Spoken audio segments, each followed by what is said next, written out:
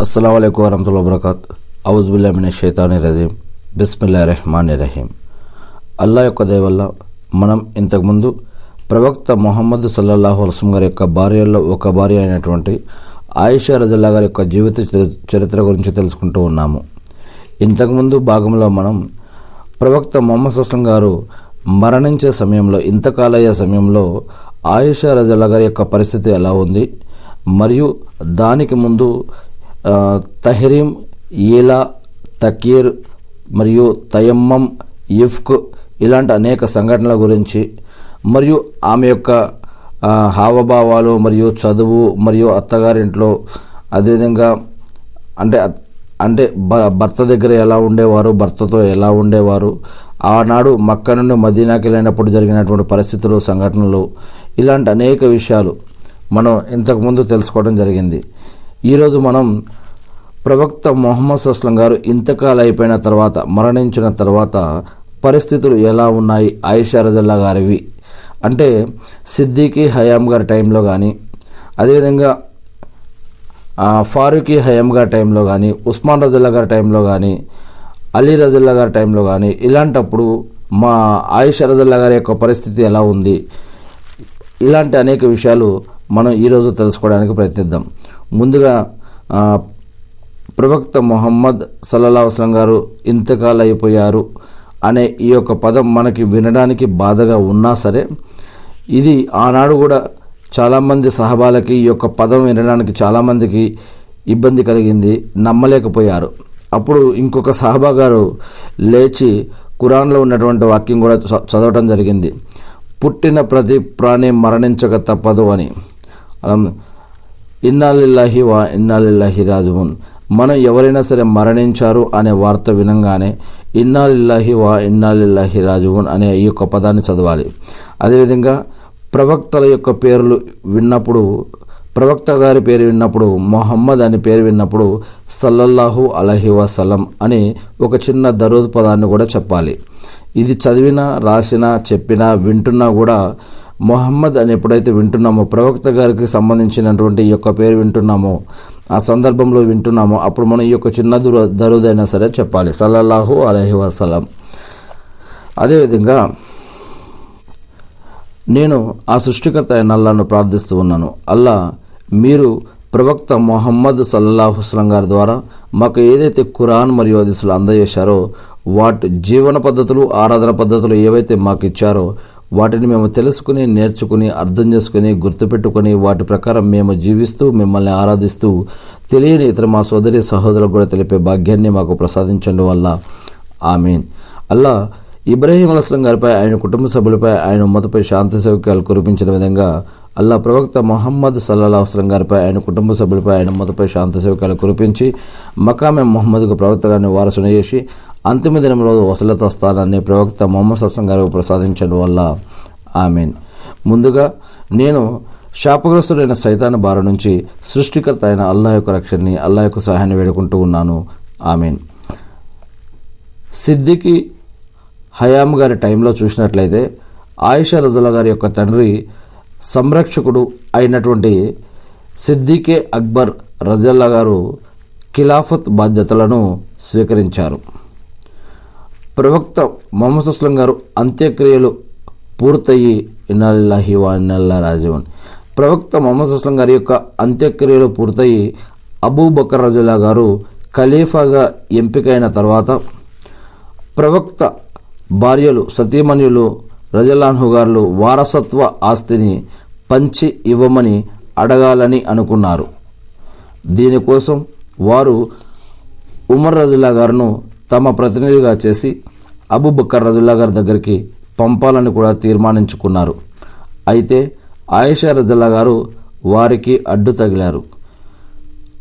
మొహం ప్రవక్త మొహమ్మద్ సల్లాహం గారు తన జీవిత కాలంలో నాకు వారసుడంటూ ఎవరు ఉండరు. నేను వదిలిపోయిన వస్తువులన్నీ దానం చేయబడతాయి అని చెప్పిన విషయాన్ని ఆమె గుర్తు చేశారు. ఈ మాట విని సతు సతీమణులంతా కూడా నిశ్శబ్దంగా ఉండిపోయారు. ఈ విషయాలన్నీ కూడా మనం సహీ బుకారిలో హదీస్ నెంబర్ ఆరు వేల ఏడు వందల ముప్పైలో మరియు అనేక హదీసుల్లో కూడా ఈ యొక్క విషయాలు మనం చూడవచ్చు. మొహమ్మద్ అస్లం గారు తన యొక్క తదనంతరం తన వారసత్వ ఆస్తిని పంచి ఇవ్వడాన్ని అసలు మొహమ్మద్ అస్లం గారు ఏమైనా వదిలిపోతే కదా? సహీ బుకారీ ప్రకారం మొహమ్మద్ అస్లం గారు దిర్హంలు దినార్లు కానీ పశు సంపద కానీ సేవకులను కానీ వదిలి వెళ్ళలేదు. ఈ యొక్క విషయాలన్నీ కూడా మనం సహీ బుకారీలో వీలునామా ప్రకరణంలో రెండు వేల ఏడు వందల ముప్పై తొమ్మిదిలో సహీ ముస్లింలో కూడా మరి మనం చూడవచ్చు. అయితే ప్రజా ప్రయోజనాలు పద్దు క్రింద కొన్ని తోటలు వ్యవసాయ భూములు మొహమ్మద్ అస్లం గారి యొక్క పర్యవేక్షణలో ఉండేవి. మొహమ్మద్ అస్లం గారు తన జీవిత కాలంలో ఏ పద్దుకై ఎంత మొత్తం కేటాయించేవారో అదేవిధంగా మార్గదర్శక ఖలీఫాలు ఖలీఫాయ రాషదీన్ ఆ ఆ- ఆ యొక్క ఆదాయాన్ని వెచ్చించేవారు. మొహమ్మద్ అస్లం గారు తాను జీవించి ఉండగా తన భార్యలకు సాలీనా ఖర్చుల నిమిత్తం ఆ ఆస్తి నుండే చెల్లించేవారు. అబూబకర్ రజల్లా గారు కూడా తన ఖిలాఫత్ హయాంలో ఆ చెల్లింపులను యథావిధిగా అమలుపరిచారు. ఆయిషా రజల్లా గారు ఔదార్యం గురించి ఇంతకు ముందు కూడా మనం చెప్పుకోవడం జరిగింది. ఆమె వైవ ఆమె వైధవ్యం పొందిన రోజున ఆమె ఇంట్లో అంటే మొహమ్మద్ అస్లం గారు వెళ్ళిపోయినటువంటి రోజున ఆమె ఇంట్లో ఉన్నదేమిటో తెలుసుకున్న తెలుసుకున్నప్పుడు ఆమె దాతృత్వ విలువ ఇంకా పెరిగిపోతుంది. అబూబకర్ రజల్లా గారు కేవలం రెండు రెండు సంవత్సరాలు మాత్రమే ఖలీఫాగా పరిపాలించారు. హిజ్రీ పదమూడవ ఏట ఆయన ఇంతకాల్ అయ్యారంటే మరణించారు. ఇన్నాళ్ళిల్లాహి వా ఇన్నల్లా రాజవన్. మరణ సమయంలో కూతురు తన తండ్రి దగ్గరే ఉన్నారు. అంతకుముందు తండ్రి తన గారాల పట్టీకి కొంత ఆస్తి ఇచ్చి ఉన్నారు. మరి ఇతర పిల్లలకు కూడా ఎంతో కొంత ఇవ్వాలి కదా? అని ముద్దుల పుత్రిక నేను నీకు ఇచ్చి ఉన్న ఆ ఆస్తిని నీ సోదరులకు ఇవ్వగలవా అని అడిగారు సిద్దికి అక్బర్ గారు. రజల్లా గారు అప్పుడు తప్పకుండా అని జవాబు ఇచ్చారు ఆమె. అమ్మ దైవప్రవక్త మొహమ్మద్ అస్లం గారు కఫన్లో ఎన్ని వస్త్రాలు ఉన్నాయి? అని అడిగారు. మూడు తెల్లని వస్త్రాలు నాన్న అని ఆమె చెప్పారు. మొహమ్మద్ అస్లం గారు ఏ రోజు మరణించారు? మొహమ్మద్ అస్లం గారు సోమవారం రోజు మరణించారు నాన్న? అన్నది. అలాగైతే ఈరోజు సాయంత్రానికల్లా నా ప్రస్థానం కూడా తథ్యమనుకో. అల్లాహ్ అక్బర్. తర్వాత అబూబకర్ రజుల్లా గారు తన దుప్పటి వైపు పరిశీలనగా చూశారు. దానిపై కుంకుమ జఫ్రాన్ మరకలు ఉన్నాయి. చెట్టు తల్లి ఈ దుప్పటినే కడిగి దానిపైన మరో రెండు వస్త్రాలను కఫన్గా ఉపయోగించు అని సూచించారు ఖలీఫా మొట్టమొదటి ఖలీఫా అయినటువంటి ఖలీఫా గారు. నాన్న ఈ దుప్పటి పాతది కదా అని ఆమె సందేశ సందేహపడ్డారు. కొత్త బట్టల అవసరం. మృతుల కన్నా బ్రతి చనిపోయిన వారికన్నా బ్రతికి ఉన్న వారికే ఎక్కువగా ఉంటుందమ్మా అన్నారు ఆయన. ఆ తర్వాత అదే రోజు రాత్రి తనువు చాలించారు. ఇన్నాళ్ళిల్లాహి వా ఇన్నాళ్ళి రాజువన్ ఇక ఆయిషా రజల్లా గారు కుటీరంలోనే ప్రవక్త మొహమ్మద్ సుస్లం గారి యొక్క సమాధి పక్కనే ఆయిషా రజల్లా గారి ఇంట్లోనే మొహమ్మద్ సుస్లం గారి యొక్క సమాధి పక్కనే కొంత దూరంలో ఈ యొక్క అక్ సిద్దికే అక్బర్ రజల్లా గారి యొక్క మరి ఖలీఫా గారి యొక్క దేహాన్ని అక్కడ ఖననం చేయటం జరిగింది మొహమ్మద్ సుస్లం గారి పక్కనే ఆయిషా రజల్లా గారి ఇంట్లో.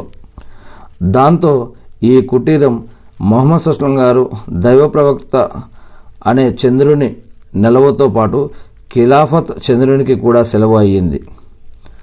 ఇంతకుముందు ఆయిషారజల్లా గారికి వచ్చిన చంద్ర మూడు చంద్రుల కళ గురించి మనం విన్నాం. ఇప్పుడు ఇక్కడ రెండు చంద్రుల కలిసినట్టుగా చూస్తూ ఉన్నాం.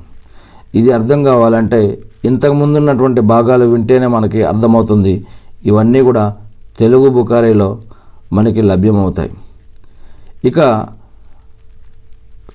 క్రమశిక్షణ పరిపాలన వ్యవస్థ దృష్ట్యా మహానీయ ఉమర్ రజుల్లా గారు ఖిలాఫత్ కాలం చాలా విశిష్టమైనది. ఆయన ముస్లింలందరికీ నగదు అంటే పెన్షన్లను పెన్షన్లు ఇవ్వటం ప్రారంభించారు. ఎవరు? ఉమర్ రజల్లా గారి పాలనలో ఈ యొక్క పెన్షన్లు ప్రారంభమయ్యాయి. కాజీ అబూ యూసుఫ్ రజల్లా గారు కితాబుల్ కిరాజ్లో రెండు ఉల్లేఖనాలను పొందుపరిచారు. వాటిలో ఒకదాని ప్రకారం ప్రవక్త మొహమ్మద్ యొక్క సత్యమణులకు సాలీన పన్నెండు వేల చొప్పున పెన్షన్ ఇవ్వబడేది. రెండవ ఉల్లేఖనం ప్రకారం ఇతర సత్యమణులందరికీ పదేసి వేల చొప్పున పెన్షన్ చెల్లించబడేది. ఆయిషా రజల్లా గారికి మాత్రం సాలీన పన్నెండు వేలు ఇవ్వబడేవి. ఈ ప్రాధాన్యతకు కారణం స్వయంగా ఉమర్ రజల్లా గారే ఏం చెప్పారంటే ఆమె గారికి నేను రెండు వేలు ఎక్కువగా ఎందుకు ఇస్తున్నాను అంటే ఆమె మొహమ్మద్ సుస్లం గారికి ఇష్టసఖిగా ఉండేవారు. ప్రవక్త సతీమణుల సంఖ్య ప్రకారం ఉమర్ రజల్లా గారు తొమ్మిది పాత్రలను తయారు చేయించారు. ఎప్పుడైనా ఏదైనా వస్తువు ప్రభుత్వ బొక్కసానికి వచ్చినప్పుడు దానిని ఆ పాత్రలలో నింపి ప్రతి ఒక్కరికి పంపించేవారు. కానుకల పంపిణీ పంపిణీ వ్యవహారంలో ఆయన ఎంత పగడబందీగా వ్యవహరించేవారు అంటే ఒకవేళ ఎప్పుడైనా ఏదైనా పశువును జబా చేస్తే తల పాయ కాల్ పాయ కాలమాంసాన్ని సైతం ప్రవక్త సత్యమనులకు పంపించేవారు అని ఆయిష రజల్లా గారు చెప్పారు. ఇరాక్ను జయించినప్పుడు ముత్యాల చిన్న పెట్టె ఒకటి చేజిక్కింది. యుద్ధ ప్రాప్తితో పాటు ఆ పెట్టె కూడా ఖలీఫా సన్నిధికి పంపబడింది. ఈ ముత్యాలను ప్రతి ఒక్కరికి పంచి ఇవ్వటం సభవం సంభవం కాదు సాధ్యం కాదు. మీరు గనక అనుమతిస్తే ఈ పెట్టెను నేను ఉమ్ముల్ మోమినిన్ ఆయిషా రజల్లా గారికి పంపిస్తాను.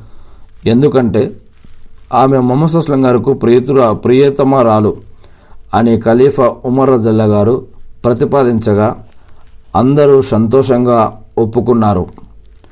అప్పుడు ఆ ముత్యాల చిన్న పెట్టె ఉమ్మల్ మోమినిన్ అయినటువంటి అమ్మ ఆయిషా రజల్లా గారి సేవలో పంపబడింది. ఆమె దానిని తెరచి చూసి కత్తాబు పుత్రుడు ప్రవక్త మొహమ్మద్ సుంగర్ యొక్క తదనంతరం నాకు చేసిన మేళ్ళు అగణ్యం. ఓ అల్లా ఇక మీదట నన్ను ఆయన గారి కానుకల కోసం సజీవంగా ఉంచకు అని పలికారు. అల్లాహ్ అక్బర్. ఉమర్ రజల్లా గారు కూడా తాను మరణించినప్పుడు ఆయిషా రజల్లా గారు కుటీరంలో ప్రవక్త మొహమ్మద్ అస్లం గారి యొక్క పాదాల దిగువ భాగాన ఖననం చేయబడాలి అని కోరుకునేవారు. కానీ తన మనసులోని మాటను వెల్లడించడానికి జంకేవారు. నల్లహి నల్లరాజు ఎందుకంటే మరణించిన తర్వాత కూడా తాను ఆమె కోసం గైర్ మెహరం అంటే పరాయ మగవాణ్ణే అని తలపోసేవారు. చూడండి ఇక్కడ గైర్ మెహరం అంటే మరణించి జీవించి ఉన్నప్పుడే కాదు మరణించినాక కూడా గైర్ మెహరం అనే భావన ఎలా ఉంది వాళ్ళ యొక్క మనసుల్లో? ఈరోజు మనం మన కుటుంబాలలో లేదా బంధువుల్లో సమాజంలో మనం ఎవరి ముంగట పరదాతోటి ఉం- ఉంటున్నాం ఎవరి ముంగట పరదా లేకుండా వెళ్తున్నాం. కొంతమంది మనం చూస్తున్నాం ఇంట్లో నుంచి బయటకు వెళ్ళడానికి పరదా దాని తర్వాత జాబులకి ఆఫీసులకి వెళ్ళిపోయిన తర్వాత పరదా తీసి పడేస్తున్నాం. అదేవిధంగా ఇంట్లో ఉన్నప్పుడు కూడా గైర్ మెహరం అంటే ఏమిటి అని తెలుసుకోవాలి.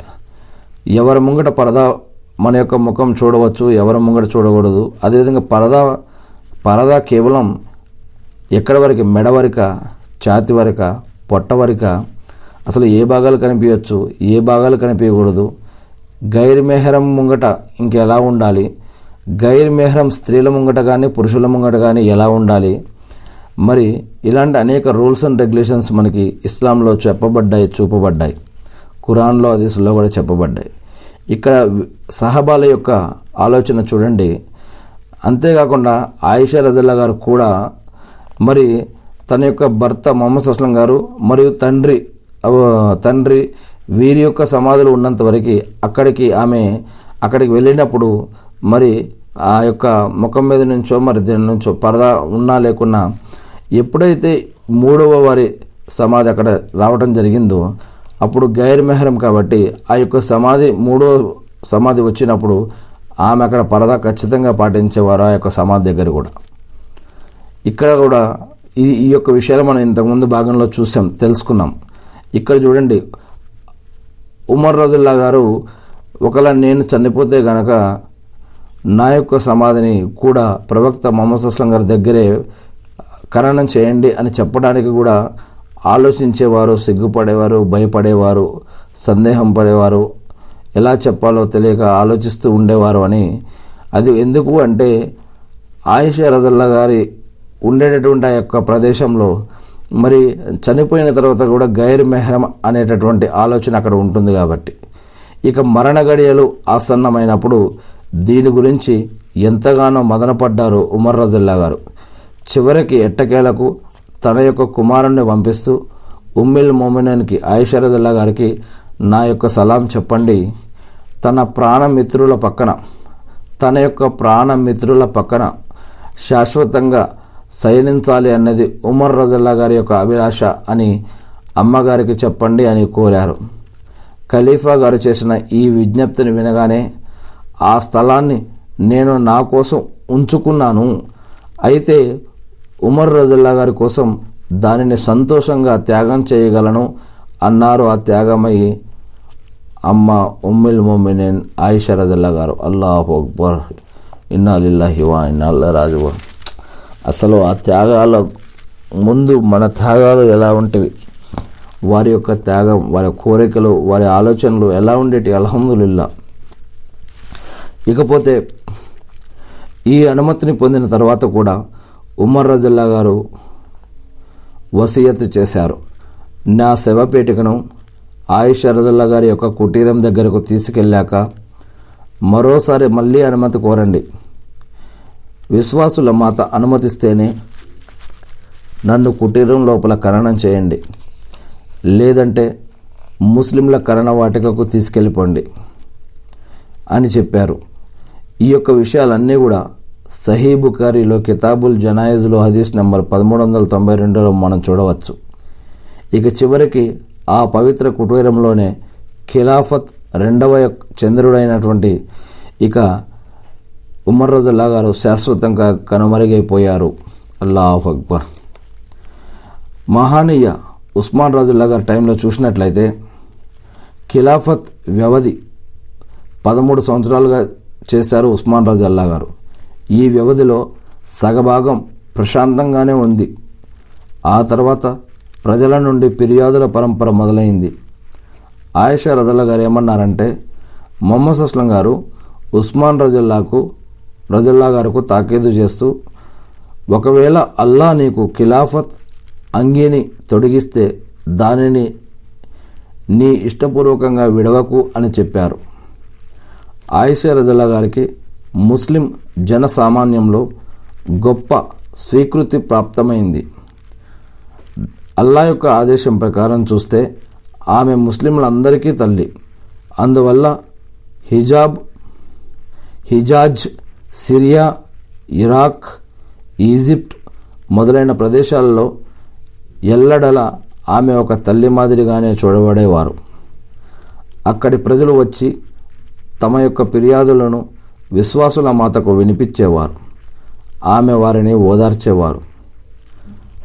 అబుబకర్ ఉమర్ రజల్లా గారి యొక్క పరిపాలనా కాలం వరకు ఉస్మాన్ రజల్లా గారి హయాంలోనే తొలి కాలంలో కూడా అగ్రశ్రేణి సహబా అత్యుత్తమ శ్రేణి సలహాదారులు జీవించి ఉన్నారు. పరిపాలనా వ్యవహారాలలో వారి యొక్క సలహాలు తీసుకోబడేవి. మొదటి ఇద్దరు ఖలీఫాలు ఎంతో సమ సమత్వంతో సమతూకంతో కూడిన వ్యవస్థకు కట్టుబడ్డారు. అందువల్ల త్రాసు పల్లెం ఏ ఒక్క వైపునకో మొగ్గేది కాదు. అందువల్ల రాజ్యంలో శాంతి భద్రతలు నెలకొని ఉండేవి. ఏ ఒక్క ప్రముఖ సహబీ రజల్లా గారికి కూడా పరిపాలనా వ్యవస్థలో లొసుగులు కనిపించేవి కావు. యువకులలో సాహస వీరులు అన అనదగ్గవారు ఉదాహరణకి Abdullah bin Zubair Muhammad bin Abib Abi Bakr Marwan bin Hakam Muhammad bin Abi Huzaifa Saeed bin Aas రజలన్హు గారులు తదితర ధర్మ ఖలీఫాల మాటను ఎదిరించేవారు కాదు. వ్యక్తి కన్నా వ్యవస్థ ముఖ్యమని వారు తలపోసేవారు. అబ్దుల్లా బిన్ జుబైర్ రజుల్లా గారు ఎవరో కాదు సిద్దికే అక్బర్ రజుల్లా గారి యొక్క మనవడు అల్లా యొక్క ప్రవక్త గారి యొక్క బంధువు మహానీయ జుబైర్ రజల్లా గారి యొక్క కుమారుడు. అందువల్ల ఖిలాఫత్కు అందరికన్నా ఎక్కువ హక్కుదారుడు తానేనని ఈయన భావించేవారు. ఇకపోతే మొహమ్మద్ బిన్ అబీబకర్ రజల్లా గారు. ఈయన మహానీయ అబూబకర్ రజల్లా గారి యొక్క చిన్న కొడుకు. ఆయిషా రజల్లా గారి కు సవతి సోదరుడు. ఈయన తల్లి అబూబకర్ రజల్లా గారు మరణానంతరం మహానీయ అలీ రజల్లా గారి యొక్క వివాహ బంధంలోకి వచ్చారు. అందువల్ల అలీ రజల్లా గారు కనుసన్నల్లోనే ఈయన యొక్క శిక్షణ పొందారు. అలీ రజులా గారు ఈయన్ని తన కన్న కొడుకుల వలనే చూసుకున్నారు.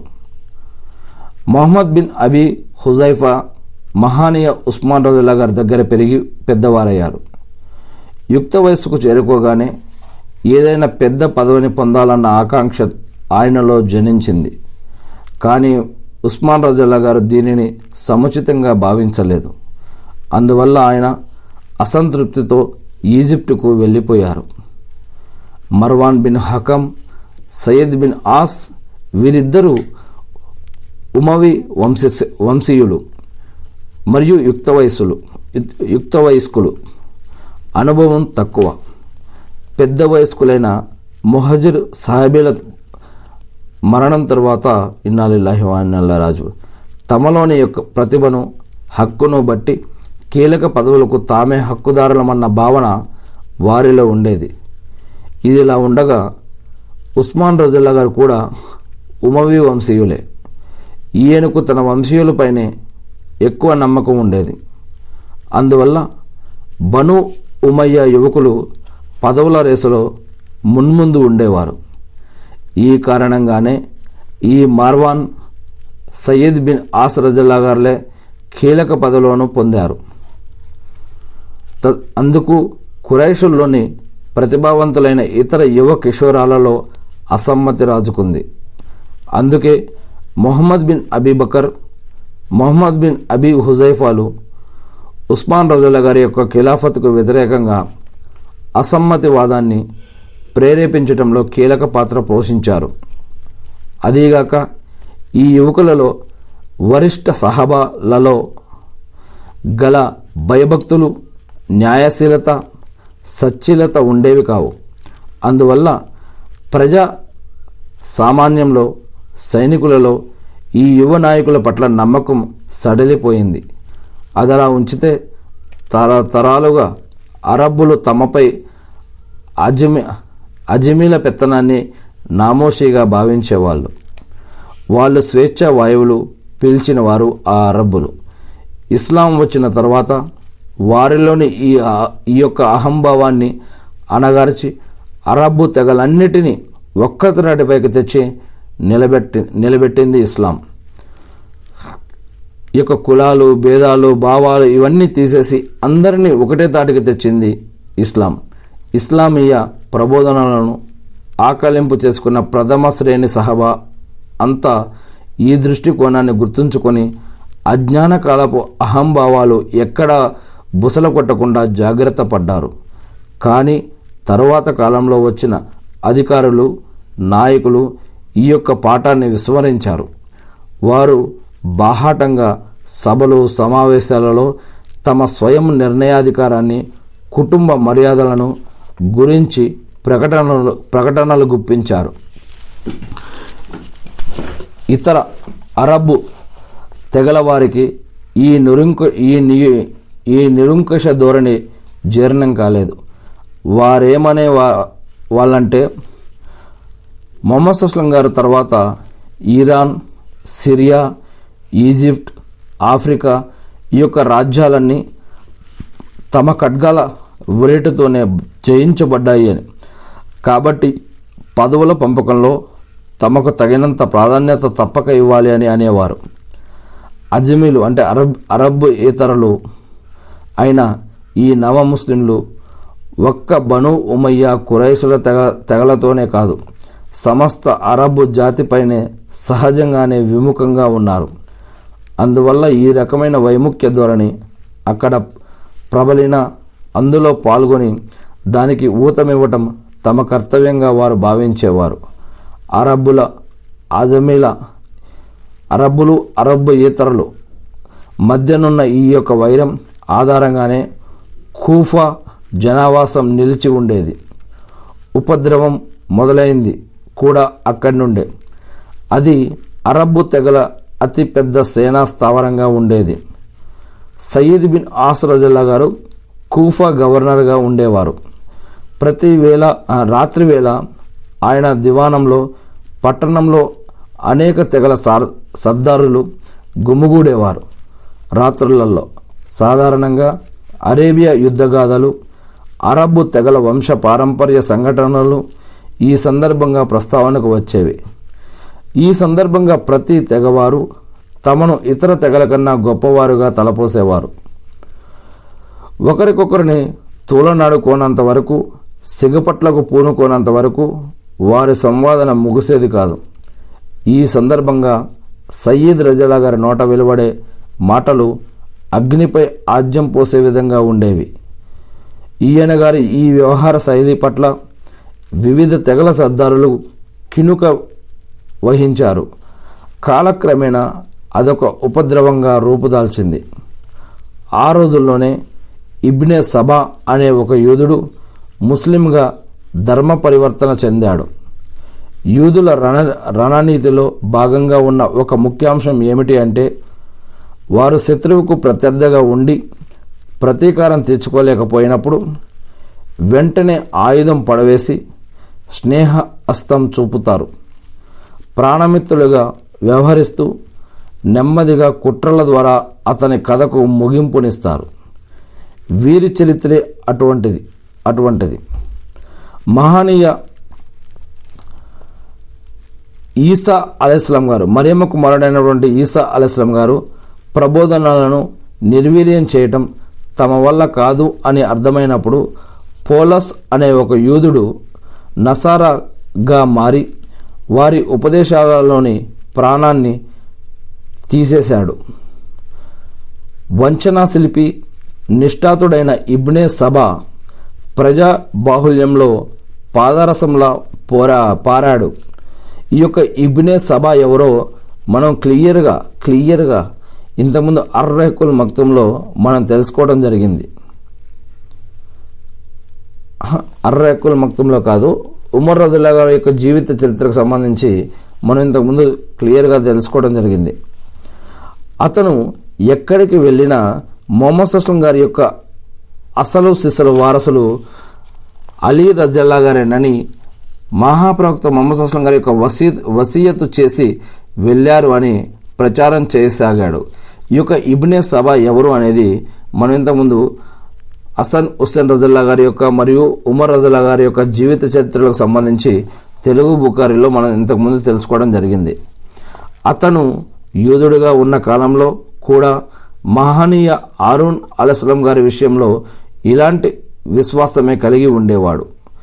ఇతను అతను తన ఈ కొంగొత్త పోకడను సర్వవ్యాప్తం చేసే ఉద్దేశంతో అనేక రాష్ట్రాలలో పర్యటించాడు.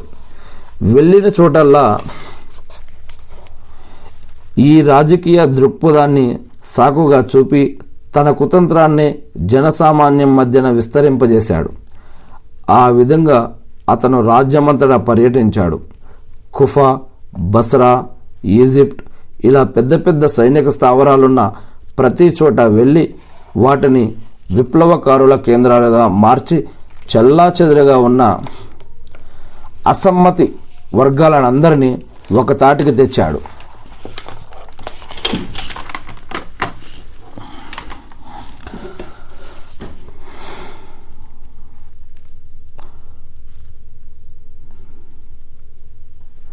ఇకపోతే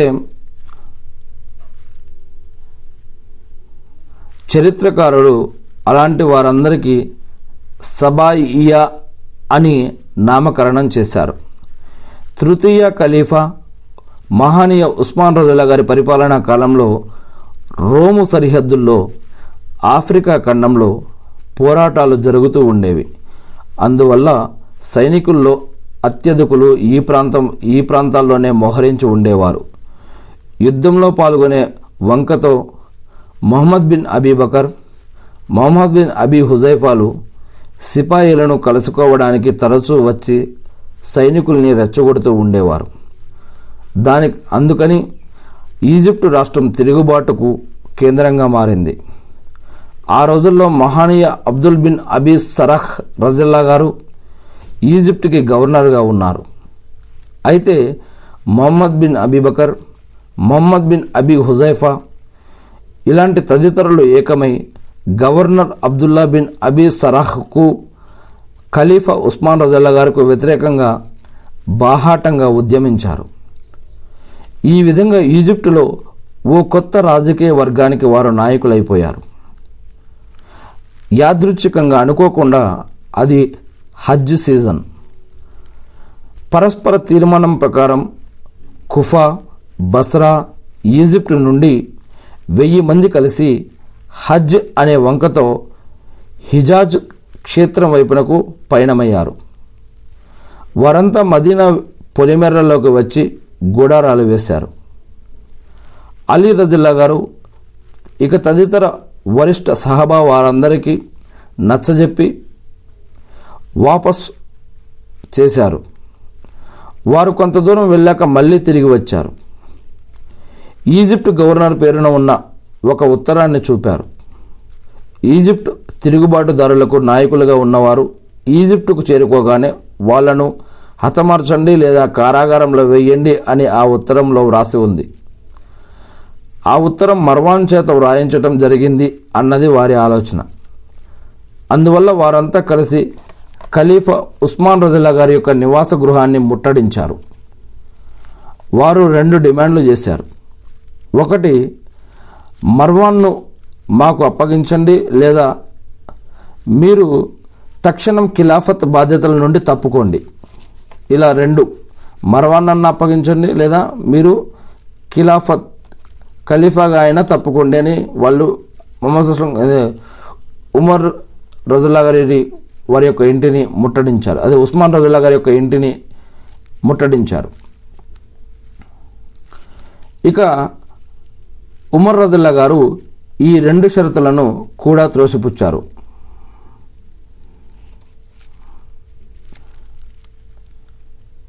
ఆయిష రజల్లా గారు తన యొక్క సమతి సోదరుడైన మొహమ్మద్ బిన్ అబీబకర్ను పిలిచి మంకుతనాన్ని వీడమని నచ్చజెప్పారు. కానీ ఆయన ససేమీరా అన్నారు.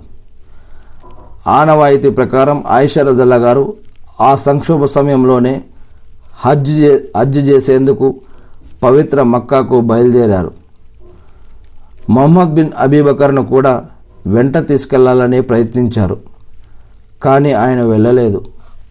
ఆ తర్వాత ఉస్మాన్ రజుల్లా గారు రెండు మూడు వారాల వరకు దిగ్బంధంలోనే ఉండిపోయారు. చివరకు తిరుగుబాటుదారుల చేతుల్లో వీరమరణాన్ని ఆస్వాదించారు. ఇన్నాలిల్లాహి వా ఇన్నా ఇల్లహి రాజువున్. అల్లాహు అక్బర్. ఇప్పుడు ఖిలాఫత్ కొరస్- కోసం నలుగురు ప్రముఖులపై దృష్టి కేంద్రీకృతమైంది. వారు తల్వార్ రజల్లా గారు జుబైర్ రజల్లా గారు సాద్ బిన్ అబీ వక్కాస్ రజల్లా గారు అలీ రజల్లాహు అన్హు గారులు. ఈ నలుగురిలో ఎవరిని ఖలీఫాగా ఎంచుకోవాలనే ఈ యొక్క టాపిక్ మొదలైంది. సాద్ బిన్ అబీ వక్కాస్ రజల్లా గారు ఈ సంక్షోభ స్థితిలో ఇటువంటి పరిస్థితుల్లో దూరంగా ఉండాలని నిర్ణయించుకున్నారు. బస్రా వాసులు తల్వార్ రజల్లా గారిను ఇష్టపడేవారు. ఈజిప్ట్ వాసులేమో జుబైర్ రజల్లా గారిను సమర్థించారు. అయితే ఈజిప్ట్ మరియు విప్లవకారుల్లోని ఒక పెద్ద వర్గం అలీ రజల్లా గారిని సమర్థించింది. వారిలో ప్రధాన సూత్రధారులు Ashtar Nakhai Ammar bin Yasir రజల్లా గారు మొహమ్మద్ బిన్ అబీబకర్ రజల్లా గారు.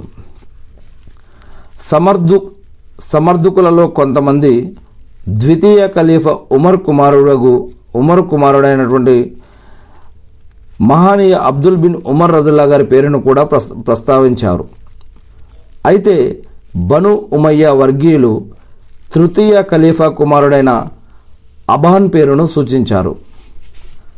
మొదటి ఖలీఫా కుమారుడైనటువంటి అబ్దుల్ రెహమాన్ రజల్లా గారి పేరు కూడా ఈ సందర్భంగా పరిశీలనకు వచ్చింది.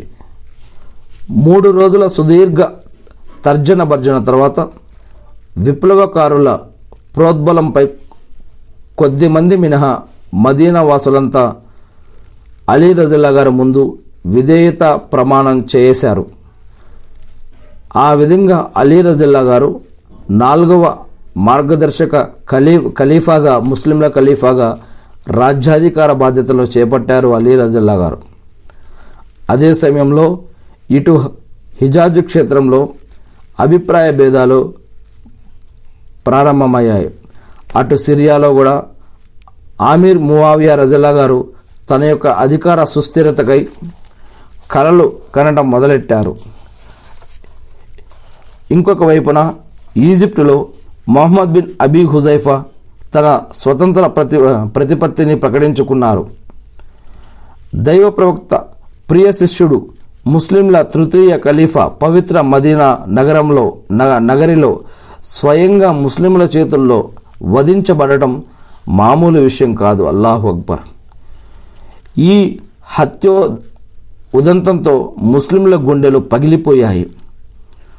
ప్రవక్త ప్రియ సహచరులలో మహానీయ ఉస్మాన్ రజల్లా గారితో భేదాభిప్రాయం ఉన్నవారు సైతం దీనిని సహించలేకపోయారు. ఒక ఉల్లేఖనం ప్రకారం మహానీయ ఉస్మాన్ రజల్లా గారితో విభేదించిన వారిలో ఆయిషా రజల్లా గారు కూడా ఉన్నారు కానీ ఆమె గారు కూడా ఈ ఉదంతాన్ని ఏవగించుకున్నారు. ఈ సంఘటనకు ముందు అస్తర్ నకీ ఆయిషా రజల్లా గారి దగ్గరికి వెళ్ళి ఆ వ్యక్తి ఉస్మాన్ రజల్లా గారిని కడతెరచడం గురించి మీ అభిప్రాయం ఏమిటమ్మా అని అడిగారు. దానికి ఆమె అల్లా శరణు నాయకులకే నాయకులైన గొప్ప వ్యక్తిని హతమార్చమని నేను అనగలనా? అన్నారు. అల్లాహు అక్బర్. కానీ ఈ ఉదంతంలో అమ్మ ఆయిషా రజల గారి యొక్క ప్రమేయం కూడా ఉందని కొందరు వదంతిని వ్యాపింపజేశారు పుకార్లు పుట్టించారు అనుమానాలు సృష్టించారు. ఆయిషా రజల్లా గారు వద్దని చెప్పారు. అయినా వినకుండా ఈ యొక్క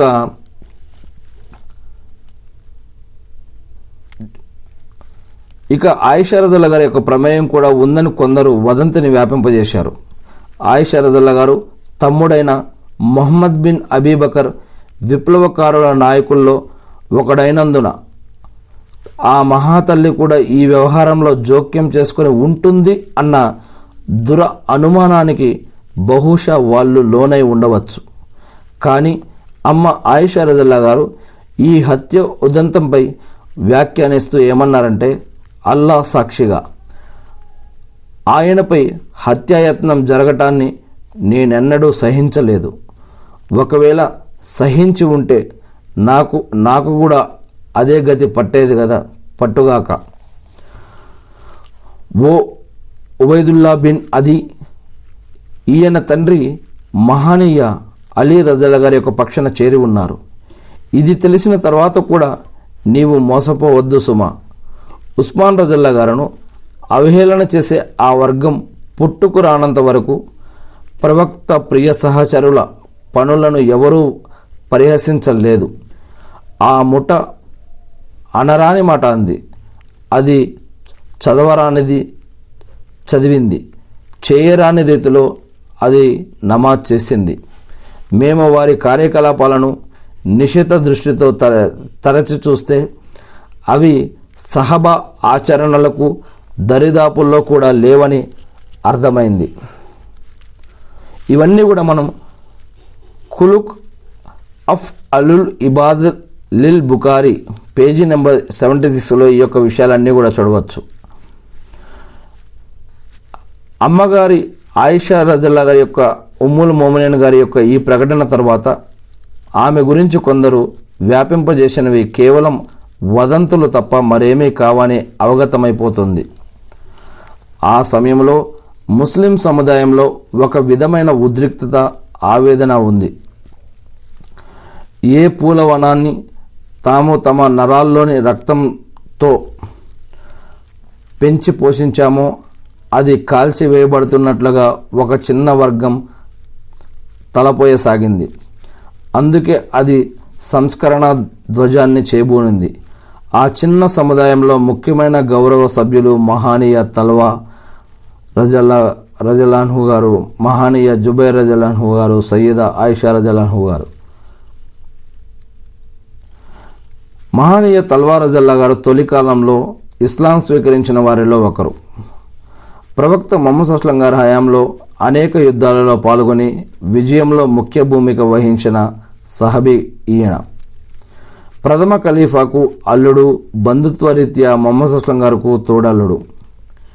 ఇక జుబైర్ రజల్లా గారు విషయానికి వస్తే ఈయన ఇస్లాంలో పరాక్రమశాలిగా సుప్రసిద్ధులు. మొహమ్మద్ అస్లం గారి యొక్క హవారీగా బిరుద బిరుదాంకితులు.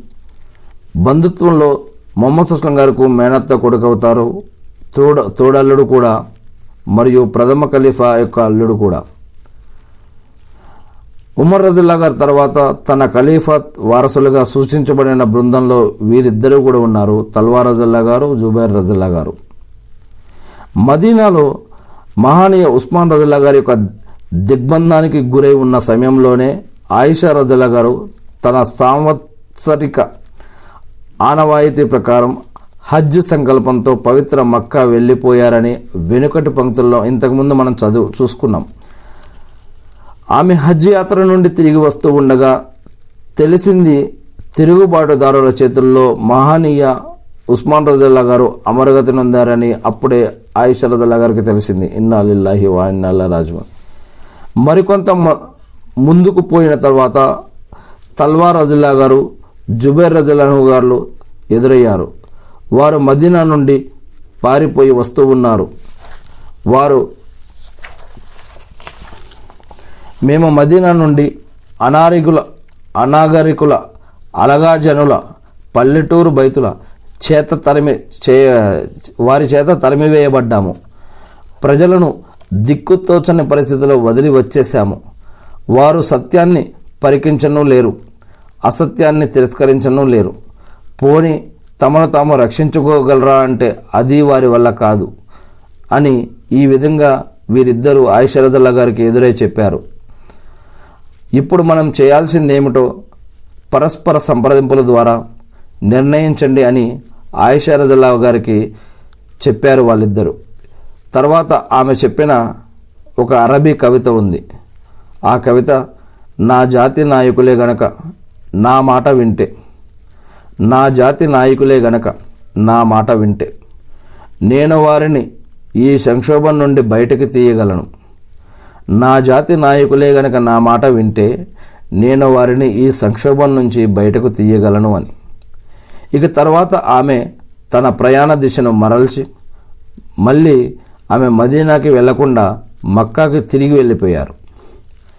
ప్రజలకు ఈ విషయం తెలియగానే తండోపతండాలుగా ఆమె వద్దకు తరలివచ్చారు. ఆమె వాళ్ళను సంస్కరణ వైపునకు పిలుపు ఇచ్చారు.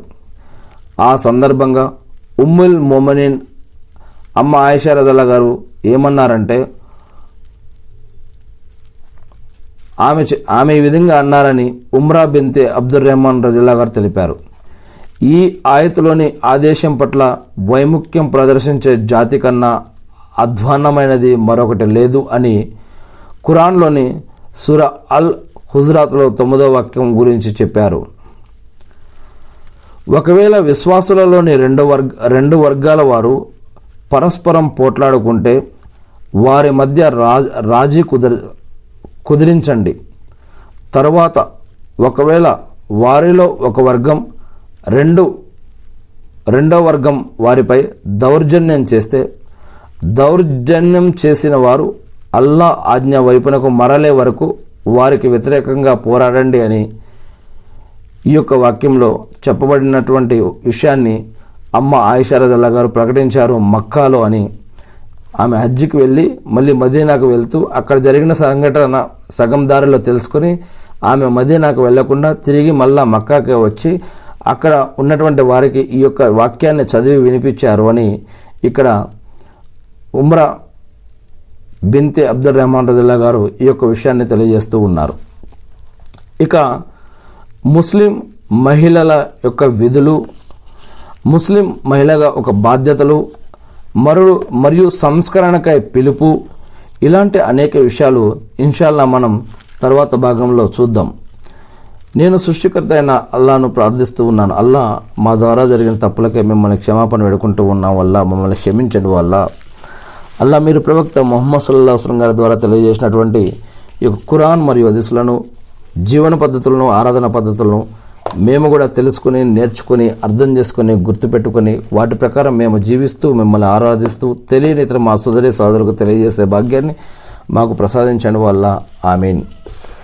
అల్లా మా యొక్క పాపాలను క్షమించండి వల్ల. మీరు ఈ సృష్టిలో సృష్టించిన అన్ని కీడుల నుంచి సైతానాల నుంచి జిన్నాతుల నుంచి మనుషులు చేసే ఆగడాల నుంచి కుట్ర కుతంత్రాల నుంచి అవమానాల నుంచి అప్పుల నుంచి ఆకలి దప్పికల నుంచి సమాధి సమాధి శిక్షల నుంచి ప్రాణం పోయేటప్పుడు బాధ నుంచి దజ్జాల ఉపద్రవం నుంచి యాజోజు మాజోజుల నుంచి నరక యాత్ర నుంచి షిరుకు నుంచి బిదాత్ నుంచి హరాం నుంచి వడ్డీ నుంచి అల్లా ఇలా అనే కుటుంబంలో ఉన్నటువంటి గొడవల నుంచి బంధుత్వంలో ఉన్నటువంటి గొ- గొడవల నుంచి సమాజంలో ఉన్నటువంటి ఇబ్బందుల నుంచి మమ్మల్ని అందరినీ కూడా రక్షించడం వల్ల. అల్లా మీరు మాపయించిన బాధ్యతలు నిర్వర్తించడం కోసం కావాల్సిన ఉపాధిని బరకత్ని రక్షణని సహాయాన్ని మాకు ప్రసాదించండి వల్ల. ఆమెన్. అల్లా ఇబ్రాహీం అలసం గారిపై ఆయన కుటుంబ సభ్యులపై ఆయన ఉమ్మతపై శాంతి సేవకాలు కురిపించిన విధంగా అల్లా ప్రవక్త మొహమ్మద్ సల్లాహ్ అవసరం గారిపై ఆయన కుటుంబ సభ్యులపై ఆయన ఉమ్మతపై కూడా శాంతి సేవకాలు కురిపించి మకామె మొహమ్మద్కు ప్రవక్త గారిని వారసున చేసి అంతిమ దినం రోజు వసలత స్థానాన్ని ప్రవక్త మొహమ్మద్ అస్లం గారికి ప్రసాదించండి వల్ల. ఆమెన్. అల్లా మీ యొక్క దయానుగ్రహాల ద్వారా ఏవైతే మేము నమాజులు ఉపవాసాలు సదకా ఖైరాతులు అలా ఏదైతే దువ్వాలు ఉపవాసాలు చేసామో నమాజులు చేసామో వాటిని స్వీకరించడం వల్ల మా ద్వారా ఏవైతే విడిచిపెట్టబడ్డాయో వాటికి మిమ్మల్ని క్షమాపణ వేడుకుంటూ ఉన్నాం వల్ల అల్లా ఇక ముందునైనా సరే మేము ప్రతిరోజు ఐదు నమాజులు జమాత్తో కలిసి మస్జిద్లో నమాజ్ చేసే భాగ్యాన్ని మా అందరికీ కూడా ప్రసాదించండి వల్ల. అలా మీ యొక్క మార్గంలో ఎవరైతే సదకా ఖైరాతులు జకాతులు హజ్జుమరాలు చేసి ఉన్నారో చేస్తున్నారో చేయబోతూ ఉన్నారో వాటన్నిటిని కూడా స్వీకరించి ఇహలోకంలో సమాధియుతుల్లో పరలోకంలో మా అందరికీ కూడా సహాయం చేయండి వల్ల. అల్లా మా అందరికీ ఆర్థికంగాను ఆధ్యాత్మికంగాను ఆరోగ్యపరంగాను అన్ని విధాలుగా మా అందరికీ సహాయం చేయండి వల్ల.